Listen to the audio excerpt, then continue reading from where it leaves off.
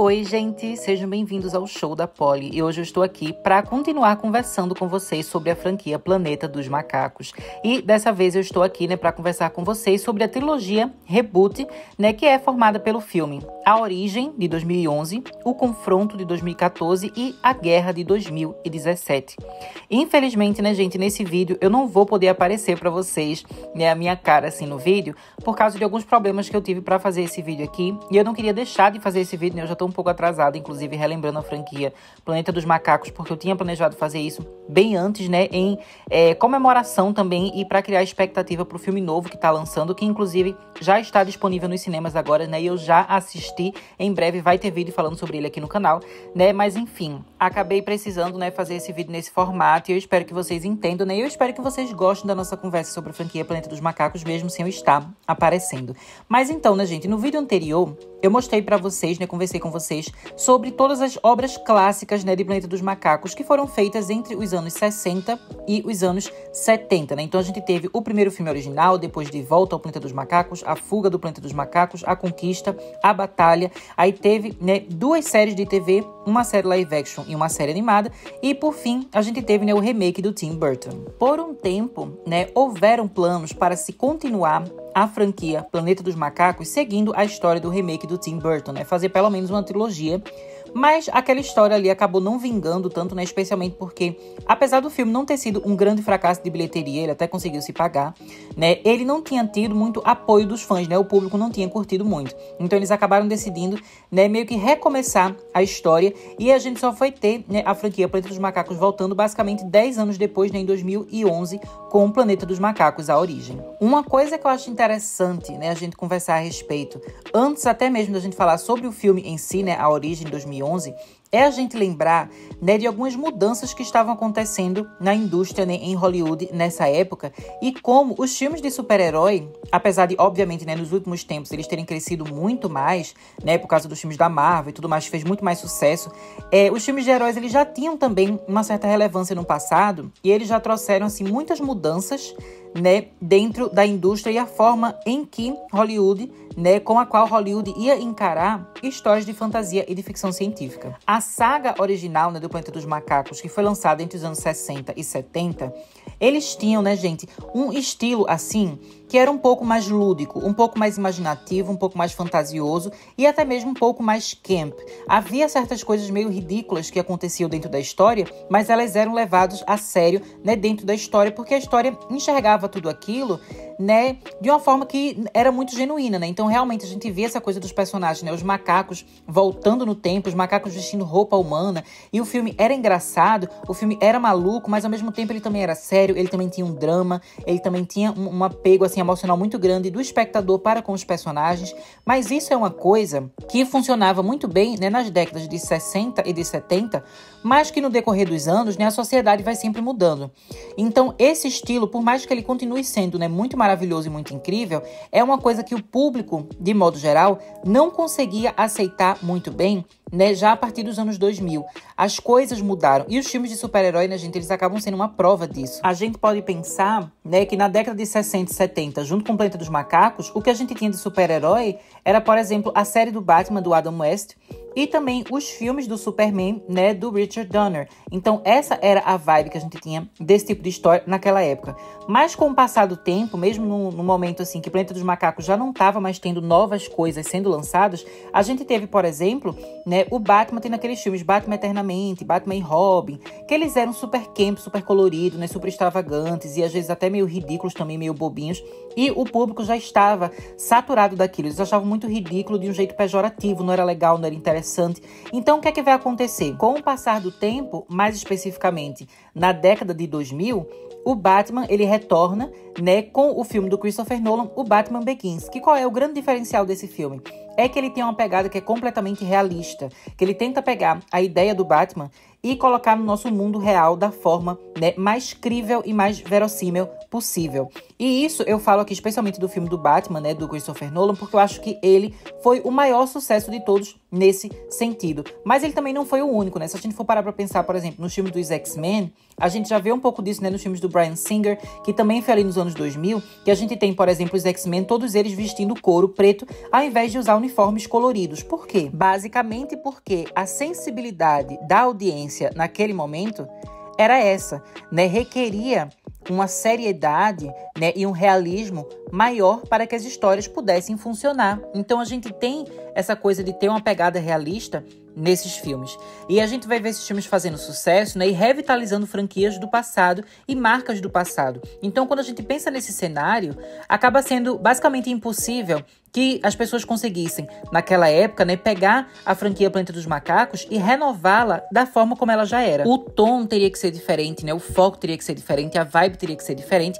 E é exatamente daí que surge o Planeta dos Macacos a origem, que se vocês pararem para pensar, é como se fosse o Batman Begins da franquia Planeta dos Macacos. Uma história que volta para o passado, né, que vai tentar mostrar pra gente, quase como se fosse um prequel, né, como foi que aqueles personagens chegaram onde eles estão. Do mesmo jeito né, que o Batman Begins, ele tinha a proposta de mostrar pra gente como foi que o Batman se tornou o Batman, né? E assim, também com Batman Begins, apesar de ser uma obra que funciona quase como um prequel, né, que volta para o passado, ela não acontece na mesma cronologia dos filmes anteriores. A gente sabe né, que o Batman do Christopher Nolan tem a sua própria cronologia. A mesma coisa acontece com o Planeta dos Macacos. Então, tem muitas referências né, em relação aos filmes antigos, e isso às vezes confunde algumas pessoas que acham né, que Planeta dos Macacos A Origem realmente é um prequel do filme lá dos anos 60. Mas esse não é o caso, gente. Esse filme, apesar dele ter essa vibe de prequela, de mostrar pra gente o que veio antes, ele tem uma cronologia própria, não é uma cronologia completamente nova. Porque quando a gente assiste né, todos os cinco filmes Planeta dos Macacos,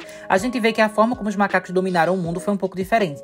Né? Então não tem como a gente considerar esse filme aqui como se fosse o que veio antes dos filmes originais, apesar de que algumas pessoas tentam fazer essa ligação, mas já deixo aqui bem claro, né, gente? Essa ligação não existe e não faz sentido com a cronologia. Mas então, né, vamos voltar agora a focar nessa questão do realismo que a obra traz, né? Como é que essa versão aqui de Planeta dos Macacos vai trazer pra gente a origem, né, desse mundo que os macacos acabaram dominando? Por ter esse apelo pelo realismo, a gente vai ter uma explicação científica que vai parecer mais lógica e mais verossímil. Então a história vai começar mostrando pra gente, né, um personagem chamando Will, né, que ele é um cientista, ele trabalha ali em laboratório e ele está fazendo testes, né, em chimpanzés para tentar fazer, né, basicamente assim, criar uma cura para o Alzheimer, que é algo de qual seu pai está sofrendo, né? O pai dele está ali sofrendo com Alzheimer, ele precisa muito encontrar a cura para poder salvar o seu pai, sendo que o experimento que ele estava fazendo, né, com essa possível cura que ele está colocando ali nos macaquinhos, acaba fazendo com que uma chimpanzé né, ela desenvolva uma inteligência ali quase humana, né? E aí tem um momento que ele vai querer mostrar essa chimpanzé para o pessoal do laboratório, para eles continuarem investindo na pesquisa e depois futuramente poderem lançar esse remédio, sendo que o que eles não sabiam é que aquela chimpanzézinha, né, ela estava grávida, ela tinha acabado de ter um filhotinho, né, um bebezinho, e ela acabou ficando muito agitada, muito nervosa, porque ela pensava que os cientistas ali iam machucar o bebê dela. Então ela acaba sendo agressiva, tem todo um caos ali no laboratório e todo o projeto é basicamente destruído, né, cancelado e mandam matar matar todos os macaquinhos. É uma coisa realmente assim muito horrível. Mas depois a gente acaba descobrindo né, que ela tinha um filhotinho, ela tinha um bebezinho. E esse filhotinho, né, acaba sendo adotado pelo Will, que leva ele para casa, né, onde ele mora com o pai dele. E aí a gente vai ver eles ali tendo a relação com esse macaquinho, eles cuidando, eles aos poucos se apaixonando pelo macaquinho, né, que eles vão acabar dando o nome de César. Mas aí, né, o Will, ele vai começar a reparar que o César, ele é muito mais inteligente do que os outros macacos, né? O cérebro dele é muito mais bem desenvolvido e ele tem uma capacidade assim, quase humana, né, cognitiva. Então, o Will, ele vai continuar fazendo alguns experimentos ali, ele vai ficar observando a inteligência do macaquinho, que está cada vez mais é, se desenvolvendo e aflorando. E aí ele meio que vai roubar alguns dos experimentos que ele estava fazendo no laboratório e começar a medicar o pai dele, né, com a cura que ele tinha criado. E aí o pai dele realmente vai ficar melhor, vai começar a ser meio que curado assim do Alzheimer. Mas no decorrer da obra a gente começa a ver né, os primeiros problemas acontecendo. Eu acho muito interessante, né, como o César, no momento que ele começa a se tornar ali adolescente, ele começa a questionar o seu lugar no mundo e o seu papel no mundo. Né? É o momento que ele começa a perceber que ele, apesar de ter uma mente que é tão complexa quanto a de um ser humano, ele continua não sendo um ser humano, né? Por exemplo, quando ele sai com o Will, e o Will gosta muito dele, cuida dele muito bem, mas ele percebe que ele usa coleira. As crianças não usam coleira, mas os cachorros usam. Então ele fica, como assim? Eu sou um animal de estimação ou eu sou o seu filho? Quem são os meus pais? De onde eu vim? Então eu acho que é muito legal ele ter toda essa coisa, né, do questionamento quando ele tá crescendo. Ele começa a se perguntar muitas coisas. E aí, é, paralelamente, a gente vai ver o pai do Will, né, o avôzinho do César, ele começando a voltar a ter os problemas dele com Alzheimer. Porque a cura, né, que o Will tinha feito, ela meio que não era uma cura perfeita, né? Ela não funcionava e os anticorpos começam a ver uma forma, né, de combater a, a cura que está sendo dada, né, o remédio, enfim. Então a, o Alzheimer começa a voltar e começa a voltar ainda mais forte. E aí nisso acaba tendo uma confusão um dia, né, que o pai do Will, ele vai abrir um carro de um vizinho, um vizinho inclusive que a gente já vê em vários momentos do filme que ele é bem chato, ele é bem agressivo, e ele vai mexer no carro do vizinho sem poder, o vizinho começa a gritar com ele e o César vai lá pro meio para brigar, para poder salvar, né, o seu avô.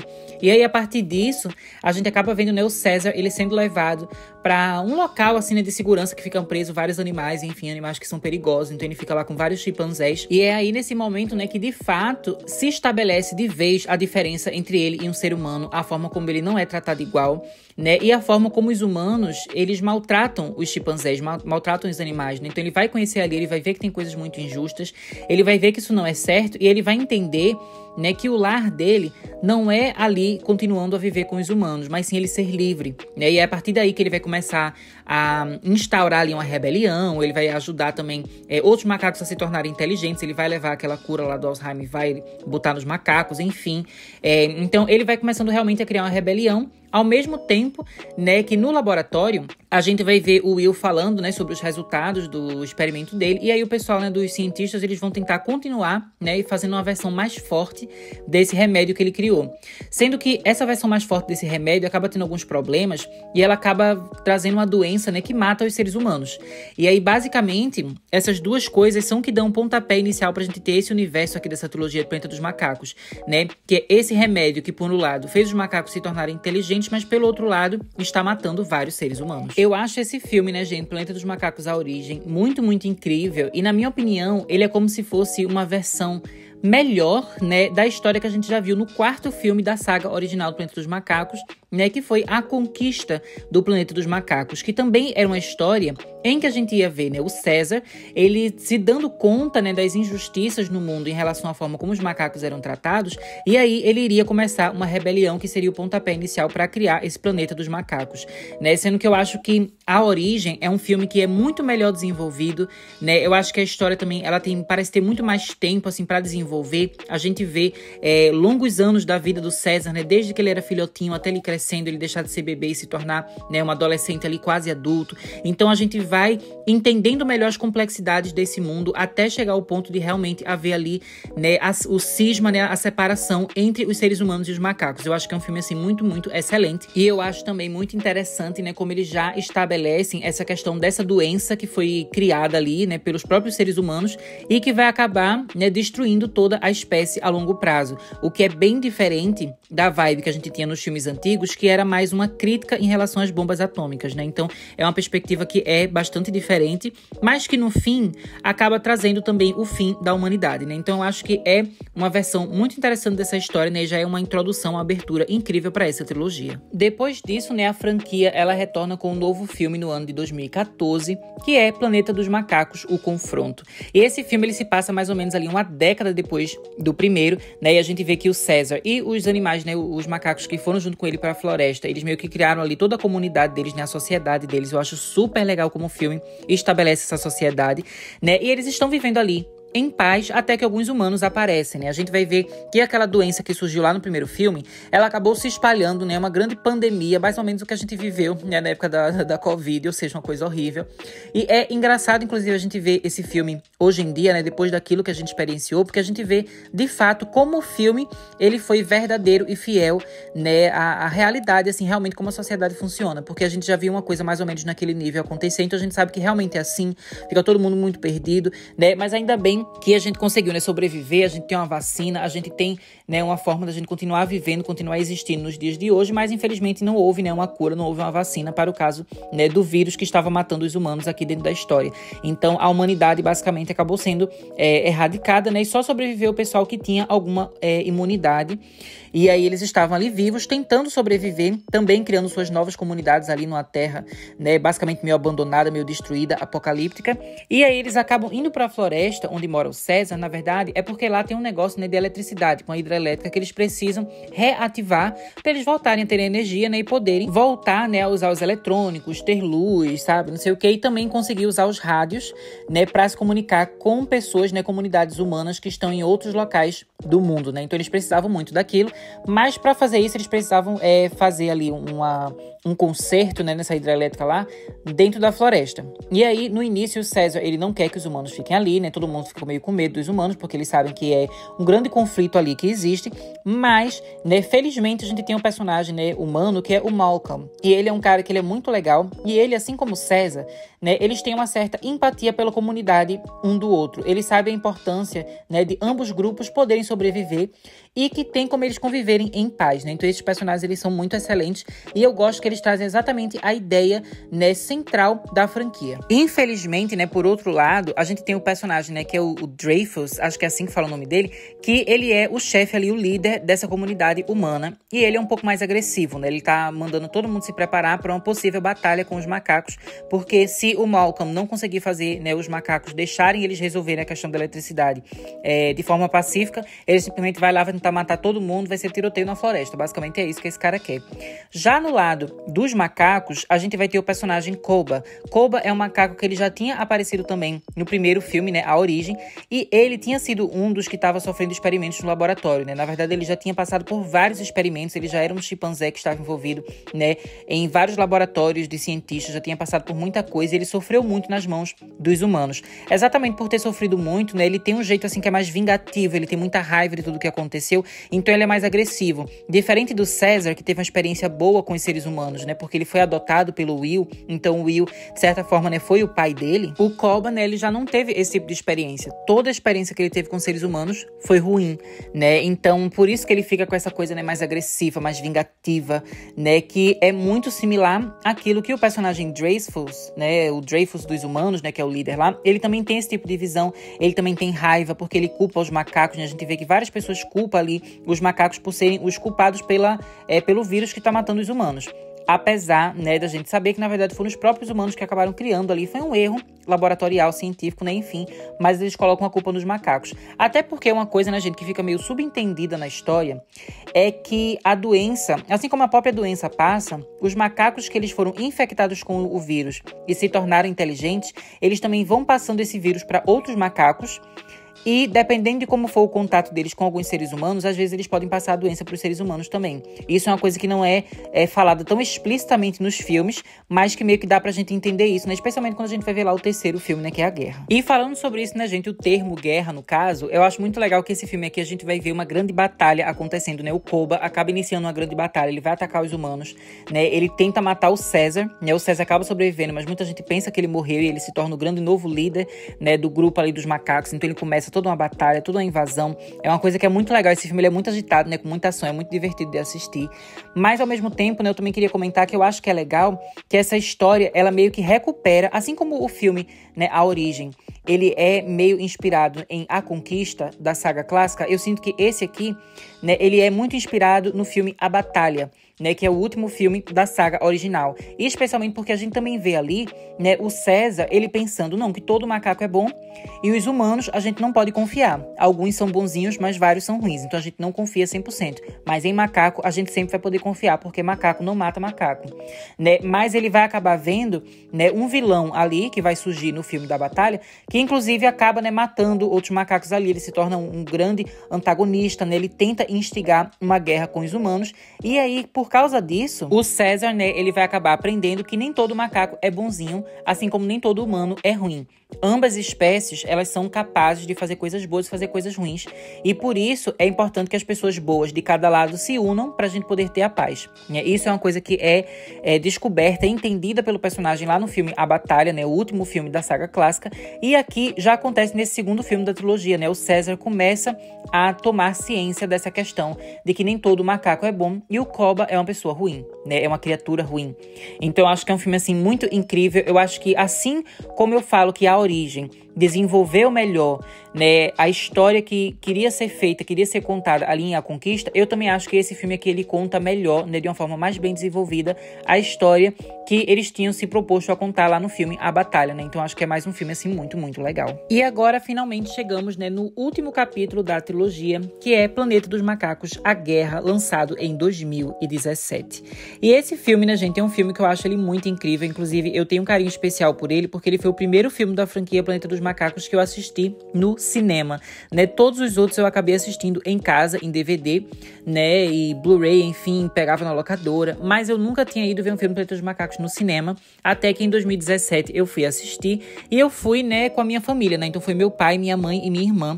E a gente adorou demais o filme, gente. Todo mundo amou muito, inclusive a minha irmã.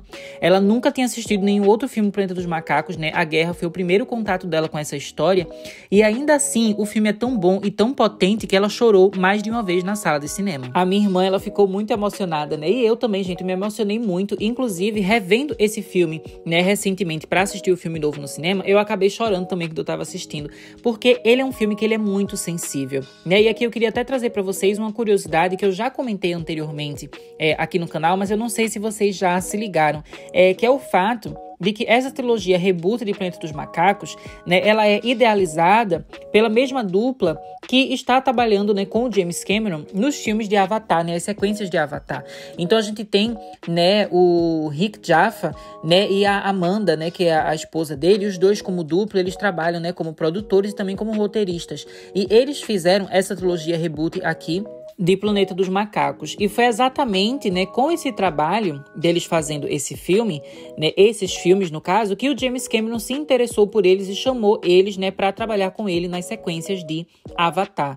E a mesma coisa continua, inclusive, né, no filme novo que lançou no cinema esse ano, né, que quem fez o roteiro do filme foi o Josh Friedman. E o Josh Friedman, ele também trabalhou, né, nas sequências de Avatar especialmente, né, especificamente em Avatar 4, que é aquele filme que o James Cameron fala que vai né, explodir a mente de todo mundo, porque é um dos melhores filmes que ele já fez na vida dele, que o roteiro é maravilhoso, que quando a Disney recebeu o roteiro, a Disney quase caiu para trás, chocada, né, com a maravilha que era aquilo ali. Então, assim, são profissionais muito talentosos, né, e que eles têm um jeito, assim, um cuidado para conseguir fazer histórias, né, que elas são divertidas de acompanhar, elas têm ação, ela tem os altos e baixos, elas têm aquela energia legal, né, de um filme que é um blockbuster para você ver no cinema, você ver na tela grande, né, você comprar uma pipoca, mas também que são filmes que eles têm, né, uma intimidade muito grande, eles têm um apelo emocional e sensível muito grande, né? São histórias que faz a gente se emocionar, a gente chorar e a gente se ver ali diante daqueles personagens, diante da jornada deles e se admirando com tudo, se chocando com tudo e se tocando, né, com cada coisa que acontece dentro daquela história. Então, são histórias assim realmente muito emocionantes e eu acho esse pessoal aqui maravilhoso, né? E já o diretor a gente tem, tipo, é o Matt Reeves, que ele fez o 2 e o 3 e tal, mas eu não falo muito do Matt Reeves porque eu não sou muito fã do Matt Reeves não, mas eu também não acho que ele seja um diretor ruim, eu acho que ele é bom. Eu acho inclusive que ele faz um trabalho muito bom aqui nos filmes, né, de Planeta dos Macacos, especialmente no 2 e no 3, né? Porque o primeiro é um outro cara que faz, é o Rupert, não sei o que lá. Mas enfim, eu acho os diretores legais, mas eu sinto que para mim, mais até do que a direção, eu gosto muito do roteiro, sabe? Eu acho que a história dessa trilogia para mim é o ponto forte dela, é o ponto mais importante dela, porque eu acho que essas são histórias que eu consigo imaginar outros diretores dirigindo e também ficando legal. Agora, quando a gente fala sobre o roteiro, eu não sei se eu consigo pensar em outras pessoas que são capazes de escrever histórias, né, que mesclam tão bem o espetáculo né, do cinema, assim, de ação, de aventura e tudo mais, de fantasia e ficção científica, com um sentimento né, tão genuíno, tão verdadeiro. É uma coisa que realmente são poucos que sabem fazer, então eu gosto muito né, desse pessoal aqui que escreve esses filmes e que produz esses filmes. Eu acho eles muito maravilhosos. E basicamente aqui nesse último capítulo, A Guerra, a gente vai ter um filme que vai simplesmente né, firmar a presença né, do César como um grande ícone, quase como uma divindade né, dentro desse mundo aqui do planeta dos macacos né? A gente vai ver é, que esse filme, ele inclusive tem alguns elementos, né, a guerra, que é meio inspirado em alguns filmes bíblicos, sabe? Uma coisa meio tipo os Dez Mandamentos, né? Aquele outro é Ben Ben sabe? Enfim, tem muita coisa desses filmes que acaba inspirando essa história aqui.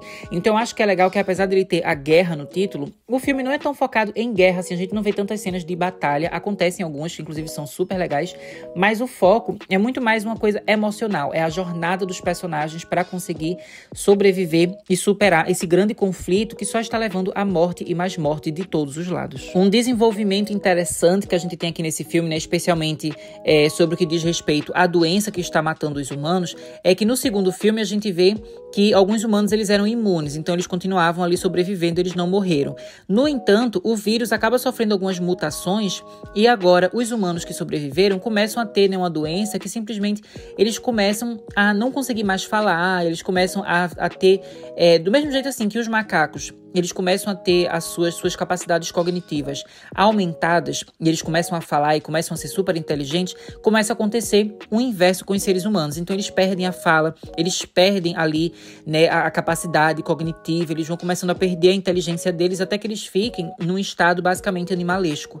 Então aqui a gente está vendo a humanidade sofrendo assim a pior coisa do mundo, que é eles deixarem de, seres de serem humanos né, e se tornando basicamente animais. Animais esses que a gente já sabe, né, a gente que acompanha a história desde o início, que eles nunca respeitaram. E é nesse cenário, né, gente, muito horrível, que a gente vai ver a guerra não só sendo entre humanos e macacos, mas também entre os próprios humanos. Porque a gente vai ter aqui um coronel, né, que é o vilão aqui desse filme, e esse cara, ele basicamente tá matando todo mundo que tá surgindo com essa mutação do vírus, que tá perdendo a fala que tá começando a agir como se fosse um animal. E ele simplesmente mata essas pessoas para impedir que essa mutação acabe se espalhando e a humanidade inteira seja perdida. Então esse cara é super violento, super doido, tá matando todo mundo. Sendo que tem um outro grupo de humanos que tá em, vivendo em outro lugar, né, que eles têm uma ideia oposta. Eles acreditam que é importante é, estudar e investigar para encontrar uma cura. Mas o coronel acha absurdo essa coisa de procurar uma cura, porque ele fala: Mas tudo começou com vocês se metendo consciência. Vocês fizeram essa doença, tudo morreu, sabe? Agora a gente vai perder aqui a humanidade, a, gente vai, a nossa espécie vai acabar. Então vocês estão acabando com tudo, não vamos confiar nisso, vamos matar todo mundo. Então eles estão nesse conflito, e aí meio que a guerra ela vai se tornando cada vez mais uma coisa mais ideológica do que realmente uma coisa física das batalhas em si. Como eu falei, a gente não vê tantas batalhas assim acontecendo durante esse filme. Mas eu achei que todas essas questões né, do, dos conflitos mentais e filosóficos né, e do pensamento de cada grupo, o que é que os macacos querem, o que é que os humanos querem, o que é que os outros humanos querem, eu achei que isso foi todo um jogo muito bem feito no filme, né? E achei que, mais uma vez, pelo roteiro do filme ele ser muito sensível, né? Esse filme aqui ser muito dramático, a gente consegue sentir o um impacto muito grande do pensamento de cada grupo. Então, a gente, por mais que não necessariamente concorde com o que está sendo feito, a gente entende o porquê cada um está agindo da forma como está agindo, né? Então, eu acho que isso deixa todo o conflito, toda a batalha muito mais interessante de se acompanhar. Outra coisa também que eu acho super interessante, né, é que nesse filme eles criam um cenário quase como se fosse assim um holocausto dos macacos, digamos assim. Porque os humanos, né, como eles estão brigando entre si, eles acabam, alguns deles, né, o caso esse coronel que é o mais violento, ele acaba sequestrando ali os macacos, né, da comunidade do César e coloca eles para trabalhar ali, para criar, tipo, um assim para eles se protegerem, não sei o que, já para eles se preparar para a batalha. Além da gente também ver que tem alguns macacos que estão trabalhando para os humanos né? Que os humanos falam assim: se você me ajudar a matar os outros macacos, você vai ser a exceção, você vai sobreviver. Então a gente vê que também tem alguns macacos meio que traindo a sua própria espécie. Então eu achei super interessante, né, essa ambientação assim, quando a gente vê os macacos todos presos, eles sendo ali escravizados, obrigados a trabalhar. E aí o César, ele querendo fazer uma nova revolução, mas ele meio que falhando, porque ele não consegue, as pessoas começam a morrer ali. Enfim, então é uma coisa super caótica, até que finalmente no final do filme a gente vai ter uma conclusão de tudo isso a gente tem uma, uma, resolução, uma conclusão muito incrível aqui nessa história, né? E eu acho que o filme, né, gente, Planeta dos Macacos da Guerra, ele é um exemplo de um capítulo final de trilogia basicamente perfeito, né? É muito comum a gente ver trilogias que o capítulo 3 ele acaba sendo o mais fraco e a história não é bem concluída. Mas aqui não, aqui a gente tem uma conclusão que é realmente muito magnífica e eu acho esse filme muito, muito bom. Para mim, toda essa franquia é uma franquia que vale muito a pena ser vista, né? Se você já viu, corre para rever, né, antes do filme novo. E se você não viu ainda, né, vai ver pela primeira vez que vale muito a pena. Tenho certeza que você vai adorar. Esses filmes são realmente muito, muito incríveis. Mas se por acaso, né, você tiver afim de ver o filme novo e não tiver tempo de rever esses filmes anteriores, também digo aqui para vocês não se preocuparem, né? Porque o filme novo que tá agora nos cinemas, ele se basta por si mesmo, né? Então você consegue assistir, você entende a história, inclusive tem um textinho que aparece no início que explica, né, o básico que você precisa saber para você entender o filme. Mas é isso, gente. Espero que vocês tenham gostado desse vídeo aqui. Assistam Planeta dos Macacos, leiam também o livro Planeta dos Macacos, que vale muito, muito a pena. Deixo vocês por aqui. Espero que vocês tenham gostado desse vídeo. Até mais!